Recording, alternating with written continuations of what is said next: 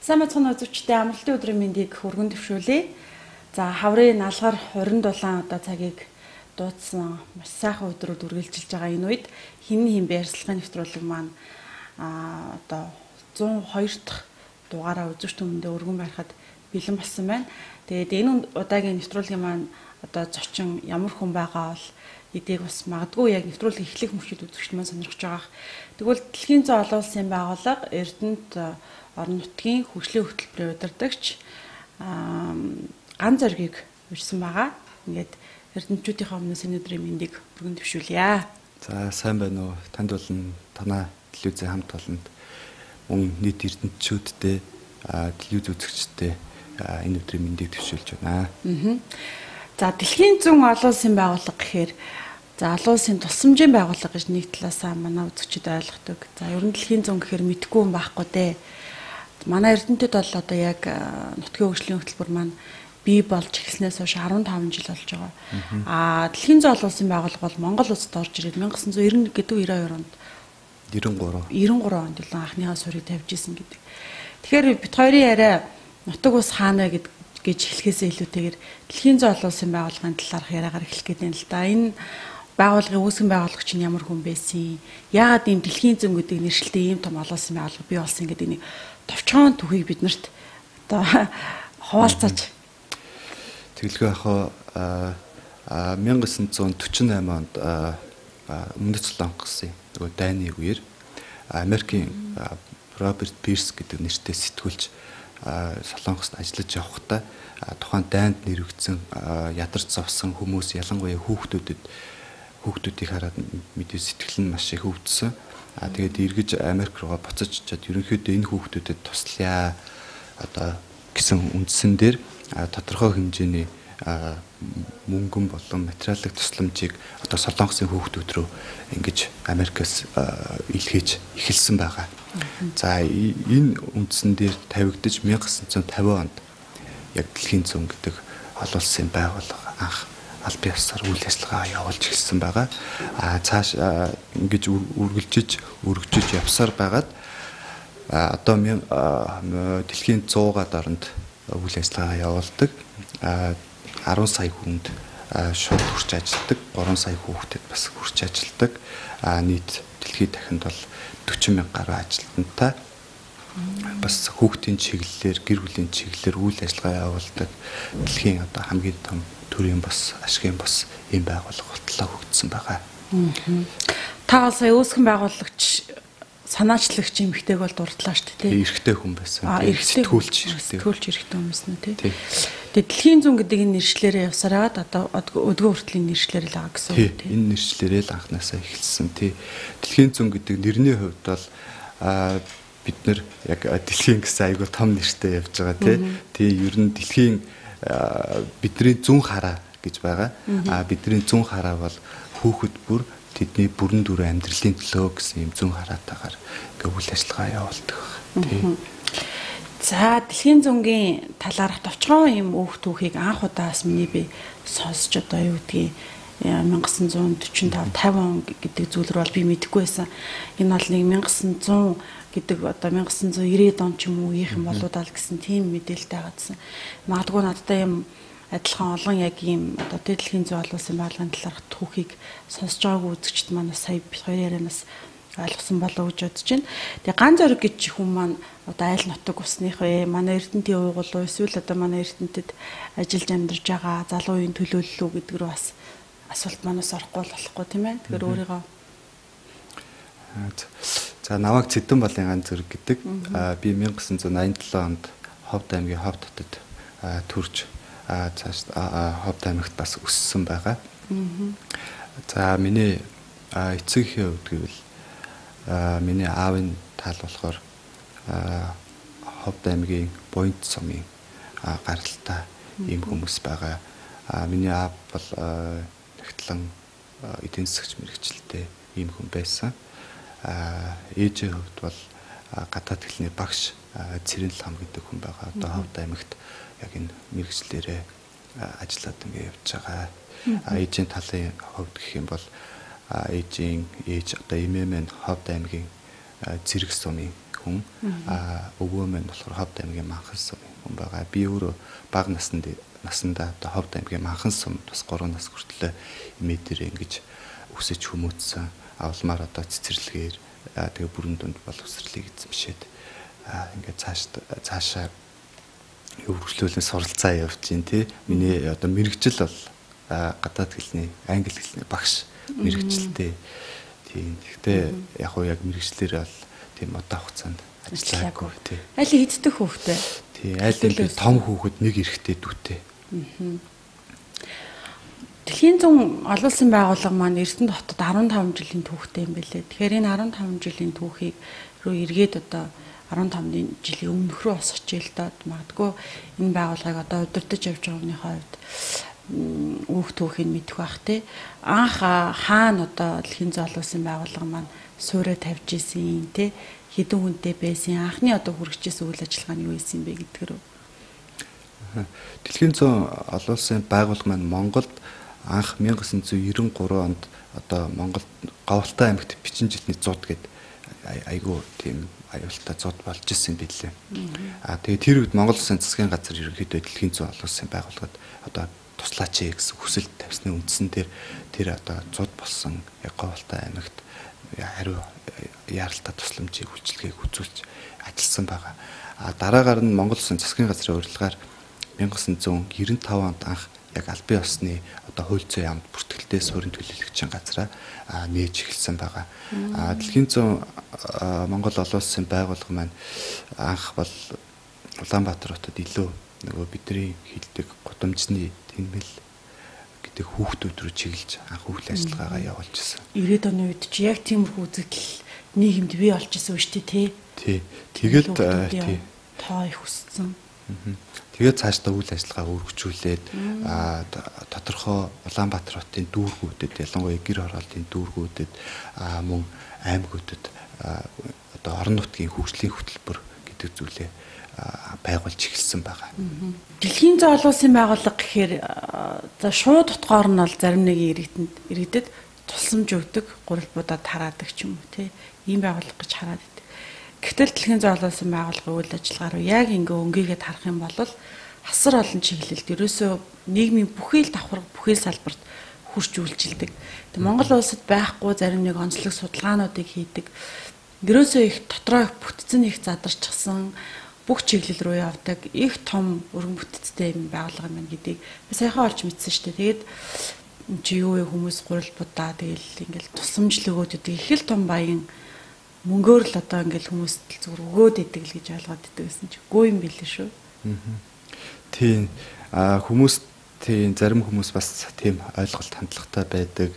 А бас бидрээс нөгөө нэг дутуу мэдээлэл өгснөөс бас болсон байх тий. Тэгээд нөгөө таны хэлсэн урил будаа гэр орон гэр өгдөг тий. Ховцос хонор хоол хүнс өгдөг За энэ ажил хараал байдаг тий гэж энэ бол яг халамжийн чиглэлийн үйл ажиллагаа байгаа. Тэгээ халамжийн чиглэлийн үйл ажиллагаа манай яг үйл ажиллагааны за нэг 5-аас 10% л байгаа. А үлцэн 90% нь бидний хийдэг ажил бол яг хөгжлийн чиглэлийн үйл ажиллагаа. Тэгээ хөгжлийн чиглэлийн үйл ажиллагаа нь хүүхдийн хөгжил, гэр бүлийн хөгжил, аа тэгээ цаашлаад орон нутгийн хөгжил.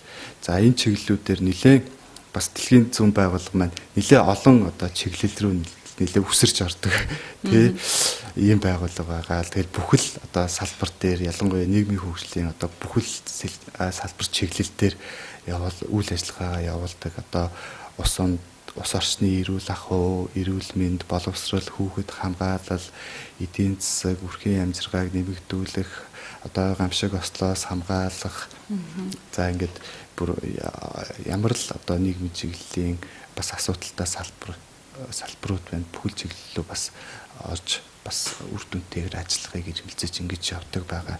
Дэлхийн зоолын улсын байгууллагын санхүүжилт дэмжлэг санаачлагаар хийгдсэн ажлууд их цөөнгөө дээ. Тэгээд 15 жилийн түүхэнд олонч байна эрүүл мэндийн салбарт тэр төрөх тасагт дэлхийн зөнгөө санхүүжилтээр тохижуулсан өрөө гэл байна. Үгүй тэр говьлд гэл нэг худаг барьсан байх жишээний сургуульд компьютер өгсөн ч байх жишээний. Ингээд хараад хахаар боловсрал эрүүл мэнд хүнлүү чиглэсэн юмнууд руу арай илүү их ойрхон байдаг юм болов гэд. Хамгийн сүүлд нь өрхийн төсөв мөс хөтлөх гэл ингэсэн чинь. Бас сонирхолтой сэдв ч юм уу те яг хүмүүсийн хэрэгцээнд нэг шаардлагатай гэдэг юм уу? Тийм зүйл рүү орсон байдаг юм. Та нар өөрсдөө санаачлалт юм эсвэл дэлхийн зөөл болсон байгууллагын бүр одоо тэр дээр төвөөсөө ирдэг тийм бодлого чиглэлийн дагуу хийгддэг юм уу эсвэл Монгол улсад яг ийм салбар дээр ийм зүйл дутагдaltaй байна гэдгийг та нар эндээс явуулаад тэндээс санхүүжилт одоо альва зүйлийн хөгж явуулдаг юм уу? Одоо нэг өсөндөө жоохон танад байгуулгын дотоод юу бол бас орох гэдэг юм л та.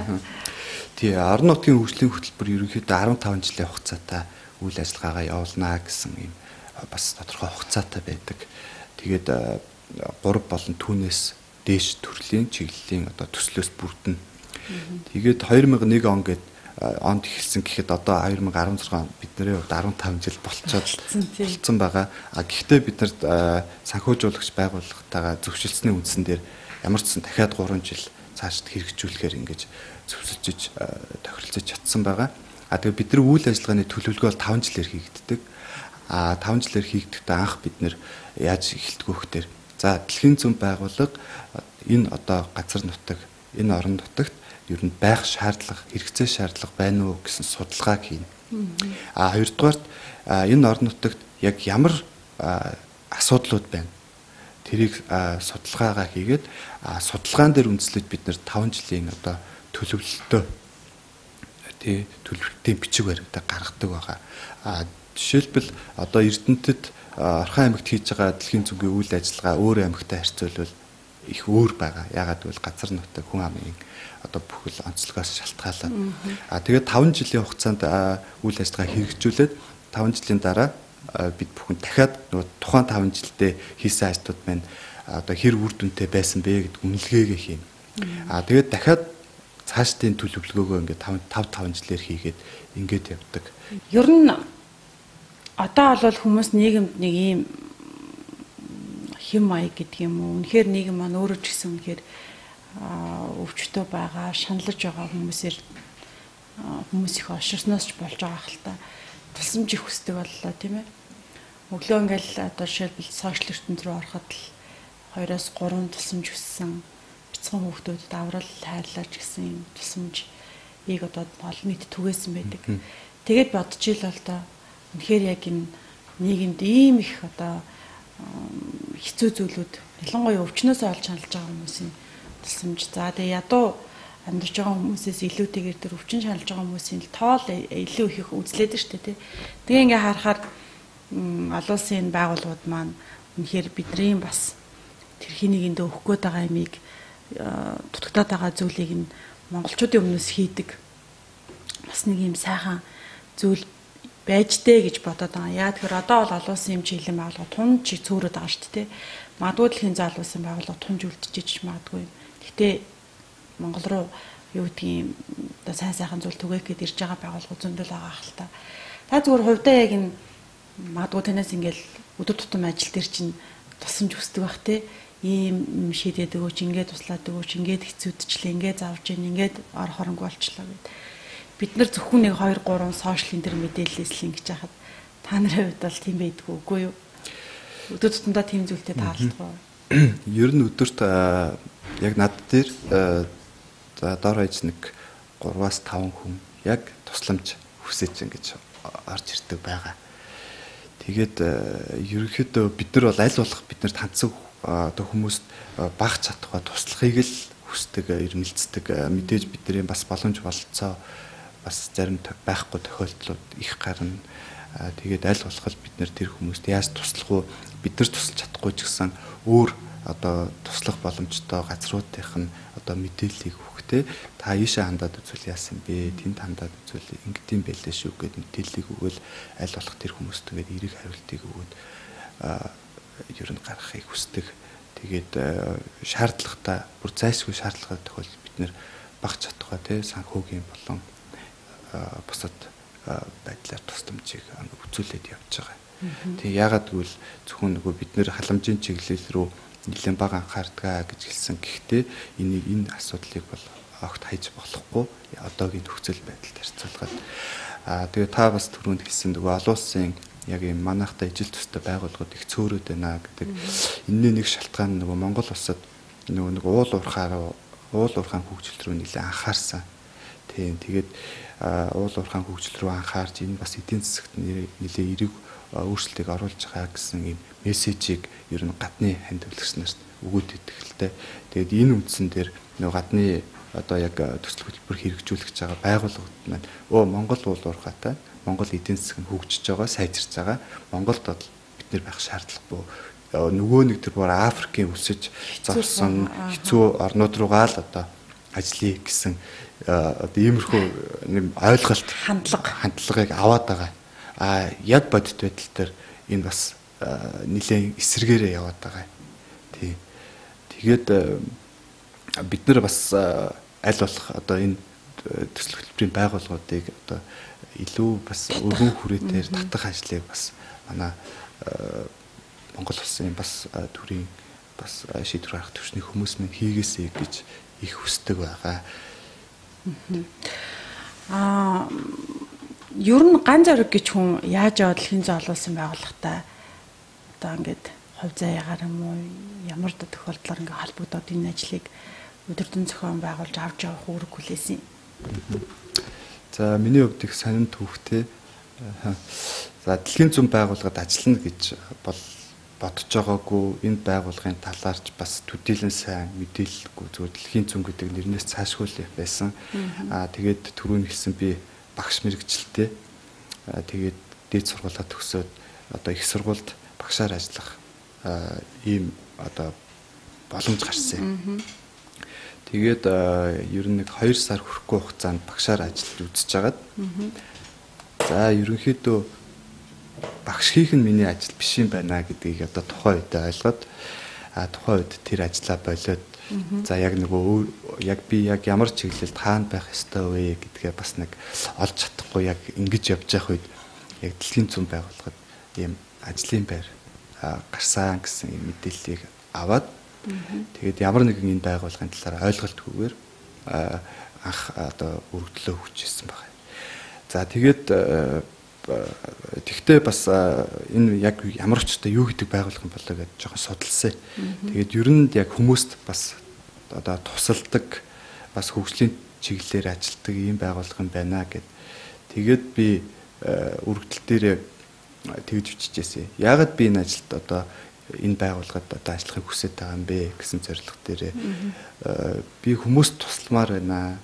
Тэ бусдад туслах бол айгүй сайхан зүйлээ гэсэн тийм утгатай зүйлийг бичээд тэгээд э, бас нэлээд тэр зүйл маань тухайн одоо яг э, шалгаруулж исэн хүмүүст бас нэлээд одоо хүрсэн гэж надад сүлд хэлчихсэн тий тэр зүйл чинь бас чанга ажилд ороход их нөлөөлсөн гэдэг чийсэн. Тэгтээ бол би зүгээр ажилд орохын төлөө анх тэгж э, тэгж биччихсэн.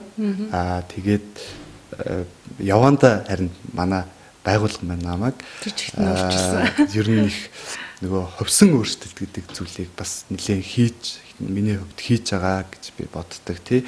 Одоо л би бол энэ байгууллагагүйгээр өөрийгөө төсөөлөхөд айгүй хэцүү тий. Тэгээ бусдын төлөө гэсэн ажил маань ч гэсэн ингээд надад миний амьдралд бас маш их одоо баяр баясгал ингээ амьдралыг минь утга учиртай болгож ингэж явдаг байна. Ганц зэрэг өөрөө залуу хүн тийм ээ. Тэгээд залуучуудын хандлага их өөр болсон шүү дээ.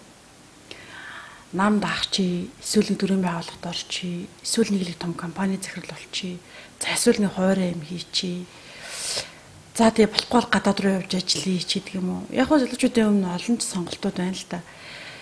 Тэгтээ альва зүйлийг бүр үзүүрээс нь биш бүр тэр дээд талаас нь зулгаах тэр доосорны тий хамгийн дээдлэлт нь эсвэл дунд хэсгээс нь шууд очихыг хүсдэг. Гэтэл альва зүйл гэдэг маань бүр доор уг суурнаас эхэлж иж тэр хүнд илүү их одоо амжилт гэдэг юм уу бүдрэх, зовох, цогсох тэр зүйлийг авчиртын болов гэж зүгээр хардгийн. Ган зориг өөрөө амьдрал дээрээ тэр өдөрөөс нь эхэлсэн үү, дунд үеэс нь эхэлсэн үү? За би нөгөө нэг төрөний яриага бас дутууд босгох шиг боллоо. Би нөгөө анх ажилд орохдоо туслах ажилтан гэдэг ажил дээр орж ирсэн. Тэр яг албан тушаалын хувьд одоо манай дэлхийн зүйнд ерөнхийдөө бүр хамгийн доод албан тушаал байсан.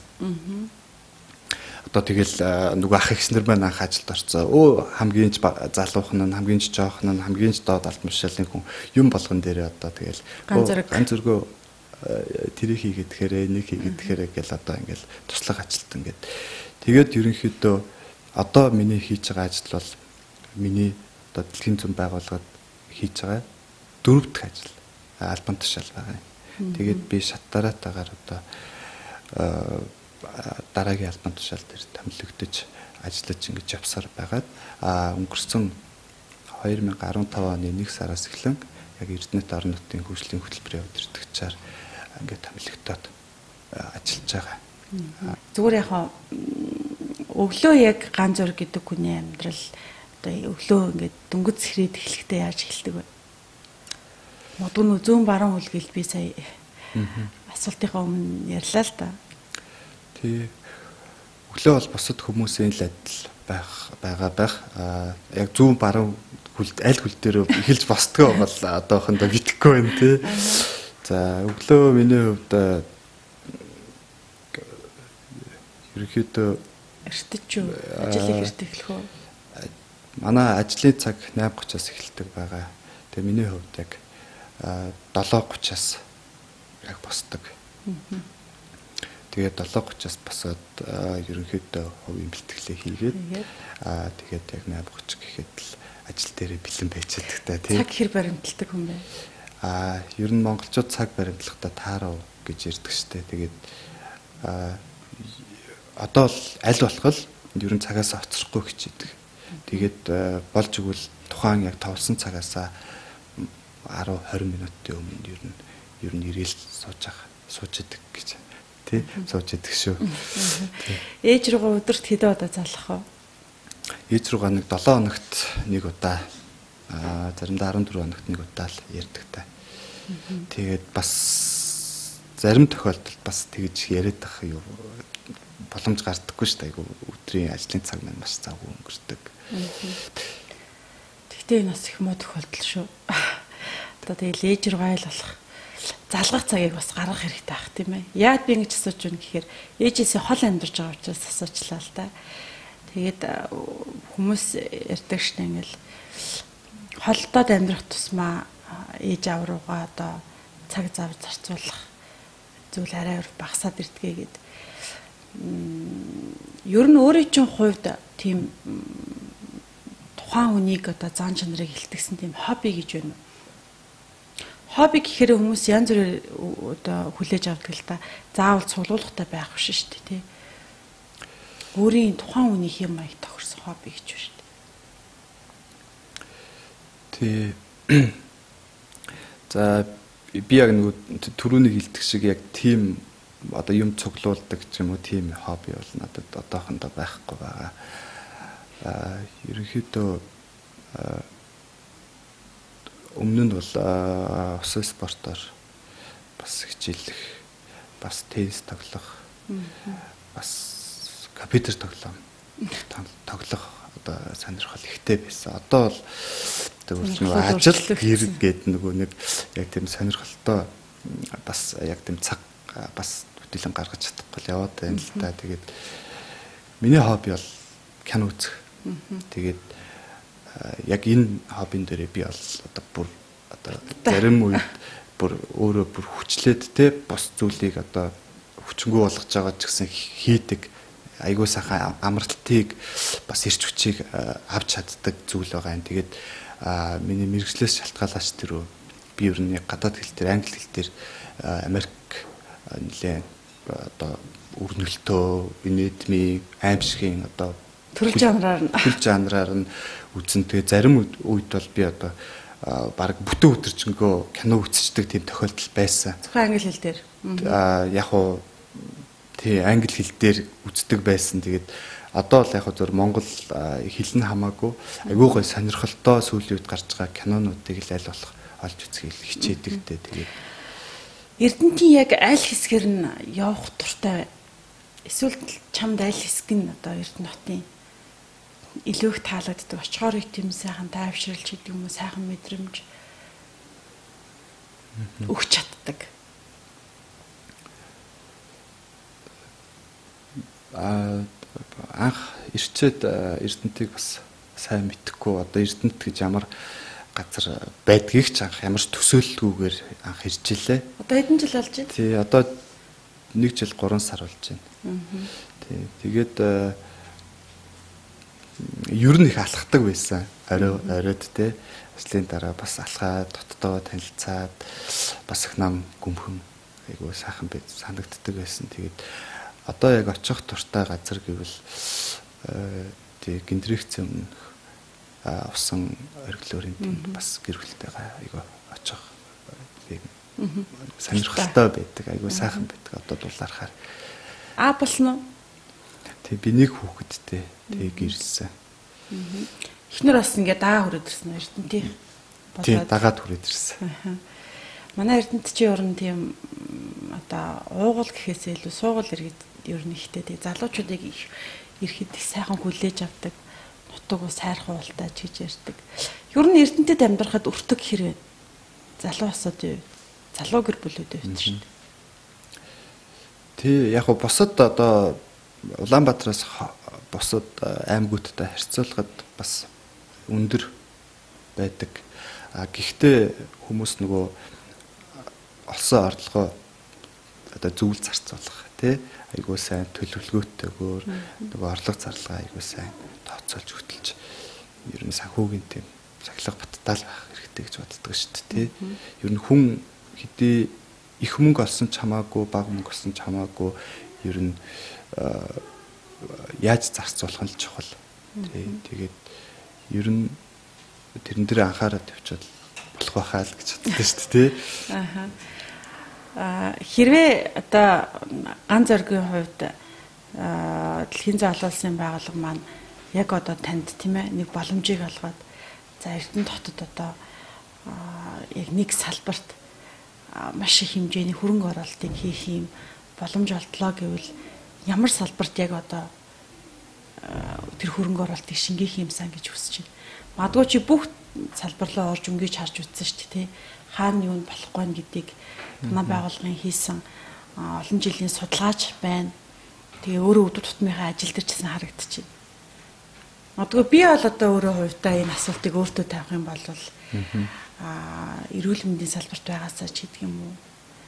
Аа эсвэл одоо яг залуучуудад чиглэсэн гоё тийм газар зарцуулах бах. Аа таны хувьд өөр ах гэж би бодоод байна. Танд тийм сайхан алтан боломж олдвол хэмжээний хөрөнгө оруулалт. За төсөөлөлтөө өгтөж хэд хоёр үед тийм. Энэ бол бас миний одоо нэг мөрөөдөл байгаа. Аа би бас тэг томоохон яг иймэрхүү чиглэлийн юм хийч юмсан гэд тэ хэрвээ боломж нь олдвол хийч юмсан гэж айгүйх бодож байгаа. Аа за энэ нь ямар чиглэл байх гэхээр мэдээж хүүхд хүүхд рүү хандсан. Аа тэгээд ер нь гэр хороолт би нэлээд олон одоо хүүхдүүд хүүхдүүдийн одоо асрамжийн хүүхэдтэй хамгаалах одоо жижиг жижиг одоо төвүүдийн үйл ажиллагаатай танилцсан нөгөө хөгжлийн бэрхшээлтэй хүүхдүүд рүү чиглэсэн эсвэл одоо бусад одоо туслан дэмжлэг шаардлагатай байгаа хүүхдүүд рүү чиглэсэн. Гэхдээ тэдний үйл ажиллагаа маань бас бусад нөхцөл байдлаас шалтгаалаад төдөлөө үр дүнтэй. Яг яг бүх хүүхдүүдэд хүрч чадахгүй бас нөгөө нэг хязгаарлал мөнгөл байдлаас болоод байна гэдгийг л би ер нь харсан. Тэгээд яг энэ чиглэлээр айгүй гоё тийм хүүхдийн төв байх болсон. Тэр цогц төв те тэнд хүүхдүүд маань одоо хүүхдүүдийг хардаг тэр хөгжлийн бэрхшээлтэй хүүхдүүд маань эрүүл мэндийнхаа бусад чиглэлийн сурч боловсрох дэмжлэг тусламжаа авчдаг ийм сайхан тийм том одоо цогц хэмжээний төвийг одоо манай гэр хороолт бол одоо байгуулах маш их хүсэлтэй байгаа. Тэгээд бидний хувьд ч гэсэн ер нь хэрэгцээ шаардлагаас шалтгаалаад бас төсөл гадны одоо зээл тусламжууд бичих боломж байгаа. Тэгээд энэ чиглэлээр бас судалгаа хийж байгаа. Чи өөрөө залуу хүн, залуу гэр бүл, залуу хосын төлөөлөл гэр бүлийн үн цэний юун дээр тогтчих юм. За гэр бүлийн үн цэн дэлхийн зүйн олонсын байгууллага маань нэг гэр бүлийн үндэс гэдэг одоо чиглэлээр яг гэр бүлийн боловсрал олгох гэдэг чиглэлээр ерөнхийдөө бас нэлээд сургалт сурталчилгааны ажлуудыг өнгөрсөн хугацаанд одоо хийж байгаа хийсээр яваа. Аа тий. Тэгээд би бас өөрөө давхар одоо энэ сургалт ажилласаа ингээд суралцаад ингээ өөрөө ойлгоод явж байгаа байхгүй тий. Өө эн чинь бас ийм учиртай юм биш гэж өөрөө давхар суралцаад явж байгаа. Тэгээд миний зөвхөн нэг ойлгосон зүйл бол а гэр бүл маань яг нэг одоо зоригтой яг нэг зүйл рүү хамтдаа харсан л ер нь байх хэрэгтэй. А тэрнийхээ төлөө бүгдээрээ одоо хичээж хичээж өөрөө одоо хүчин чармайлтаа гаргахыг л гэр бүлийн үнцэн гэж бодож байгаа тий. Одоо эхнэр нөхөр хоёр байлаа гэхэд өөр өөр хүсэл хүсэл сонирхолтой одоо өөр өөр одоо үзэл бодолтой үзэл бодолтой байгаа. А гэхдээ өөр одоо хүсэлтэй бол мөрөөдөлтөй бол энэ гэр бүл айгүй хэцүү гэж зөвхөн Хоёр тийш харчна шүү дээ. Нэг миний үзэл бодол өөр, чиний үзэл бодол өөр гэдэг.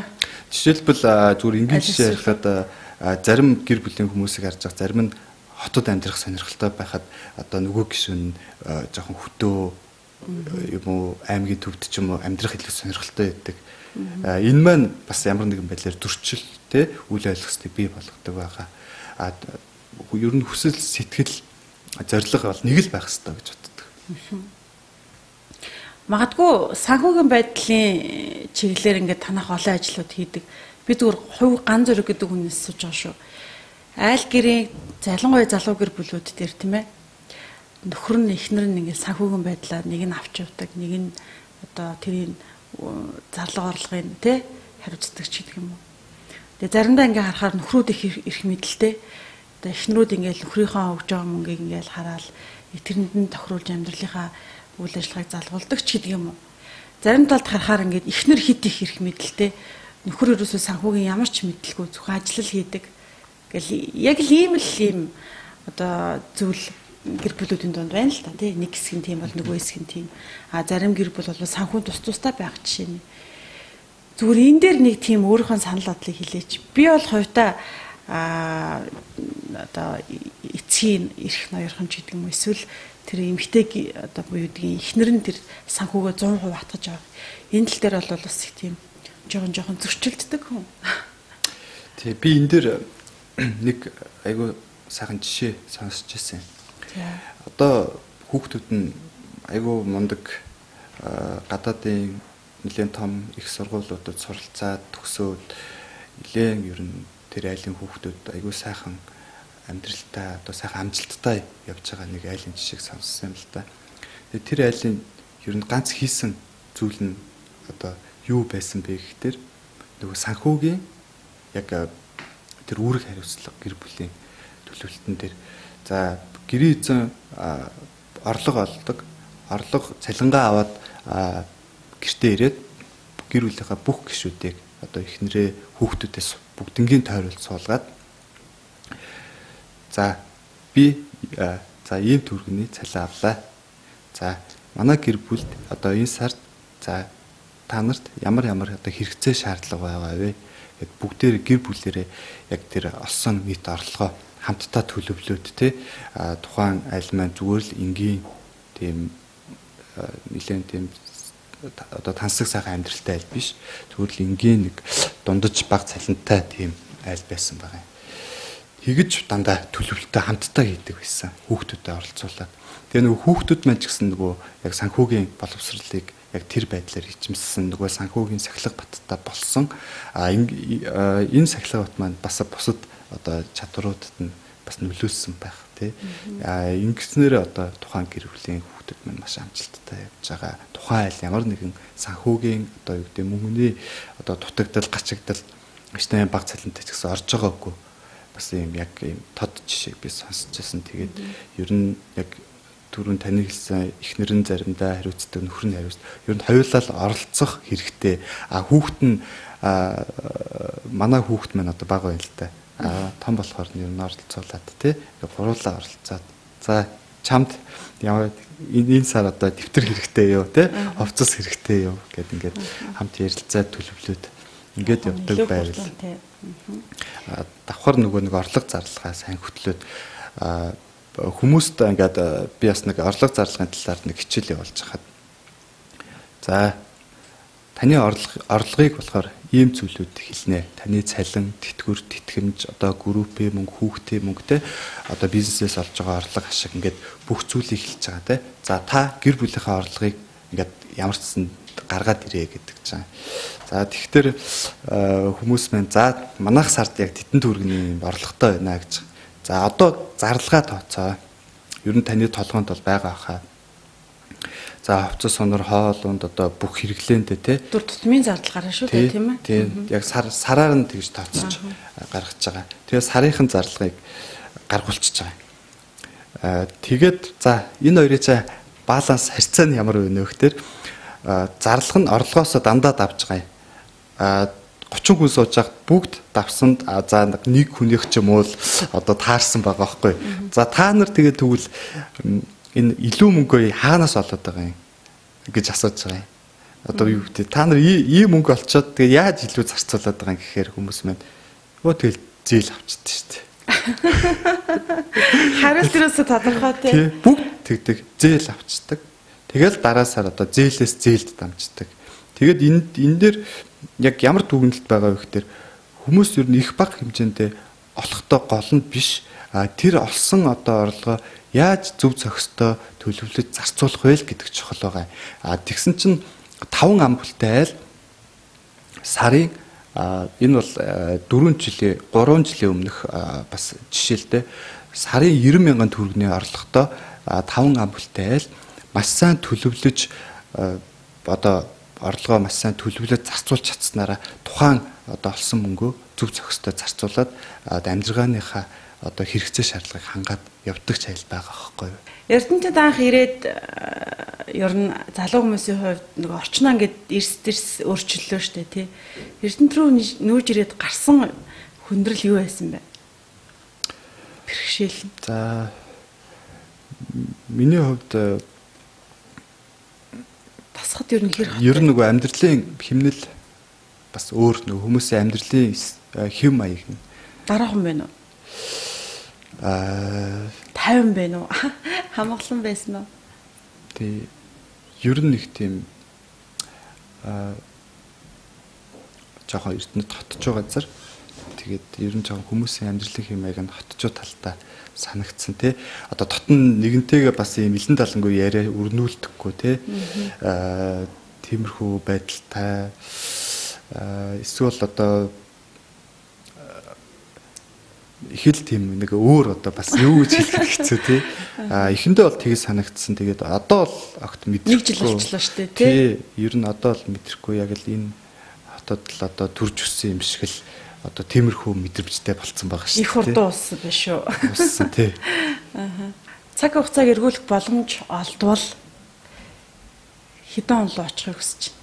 Ирээд зүг байсан ч болно шүү дээ би энэ талаар өста бодож үзэж байгаагүй юм байна тий. Аа эргүүлэх боломж олдвол хүүхэд наснд төргөж өгдөг гал тэрэг шиг л асуулт байна л да. Цаг хугацааг эргүүлээд аваад тий болтгсон бол хэдэн онд ч өсч. Тий.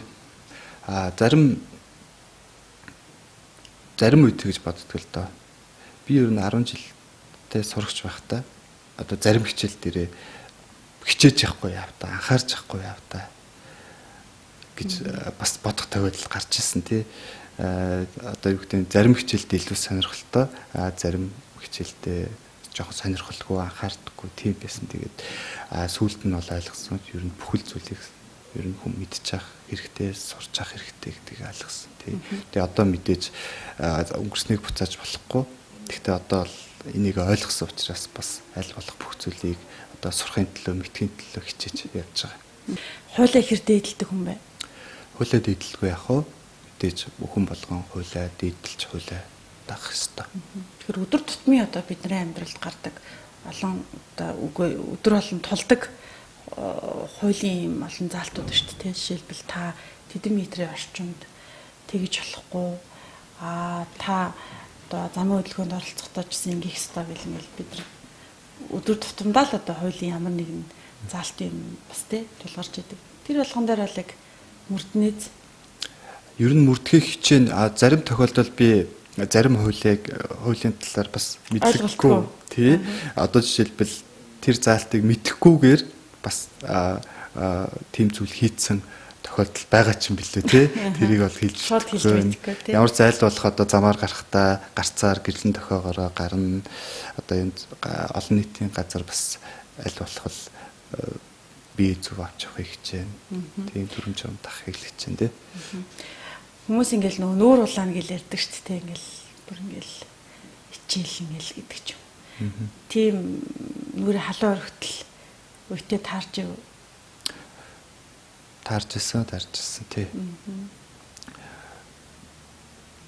За нилээ олон л удаа бантарч гэж хэлдэг тий. Бантах ичих тий. Гэтэ харцсангуу миний нүүр улаах гайгүй бах. Тийм зүгээр тийм ичих тийм тохиолдлууд одоо гарч исэн. Тий. Хаяад худлаа ярих уу эсвэл гайгүй юу? Ер нь би худлаа ярьж чаддаггүй шүү дээ. Аа тий. Аа ингээл худлаа харин би яг нүүр улаах гэдэг дээр би хэрвээ худлаа ярих юм бол айгүй бол ингээд мэддэгдэх баха. Тий ямар нэгэн одоо илэрлэлэр тий тэгээд нөгөө худлаа одоо юу гэдэг зарим тохиолдолд худлаа ярих шаардлагатай байсан ч гэсэн нөгөө худлаа ярьж чадахгүйгээр бас нэг тийм баригдаж мэддэгдэх ч юм уу тий. Тиймэрхүү жоохон бүтлгүүтэл байдаг. Эхнэрийгээ уурлуулад хэр хурдан хугацаанд одоо тэр уурыг нь гаргаж чадах вэ? Ер нь э, гайгүй хурдан штэ тэгэл инээлгэл. Янз бүр гаргах чинь штэ тий. Нийтдээ зүйл яриад.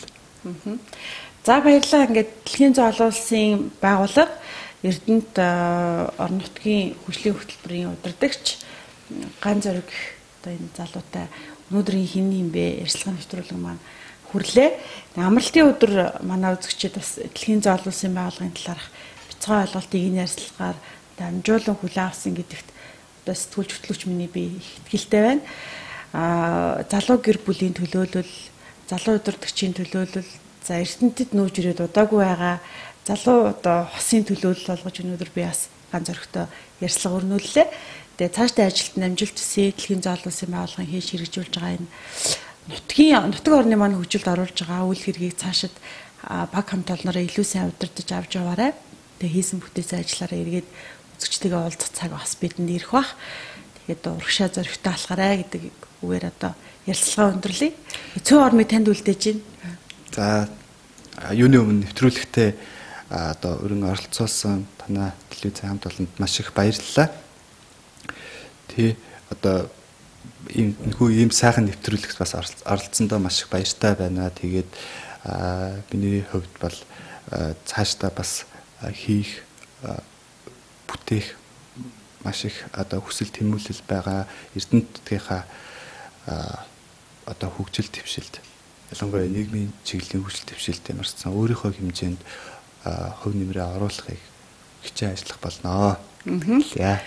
За баярлаа. Өнөөдөр амралтын өдөр та бүхэн гэр бүлийнхээ алуун дулаар амьслалын дор аз жаргалаар гэр бүлийнхээ тэр сайхан үн цэнийг баттгаж өдрийг сайхан хүчлээ өнгөрүүлээрэ. гэр бүлийн одоо орчинд та бүхэндээ хүрхийг зорддог чин сэтгэлийн яриад илгдэг хин юм байршлага нэвтрүүлгийнхээ удаагийн дугаарыг жаргааж байна. Эх 7 хоногт эргээд болцъё. Баярлалаа зэгчтэй. Баяр таа.